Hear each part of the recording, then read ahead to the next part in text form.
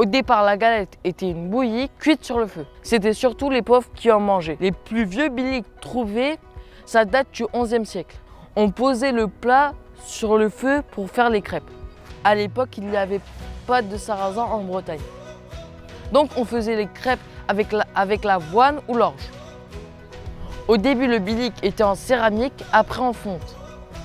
Maintenant, le bilic est soit au gaz soit électrique.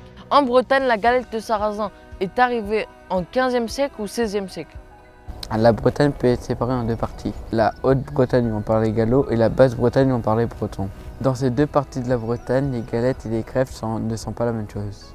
En Haute-Bretagne, la galette de sarrasin est forcément salée.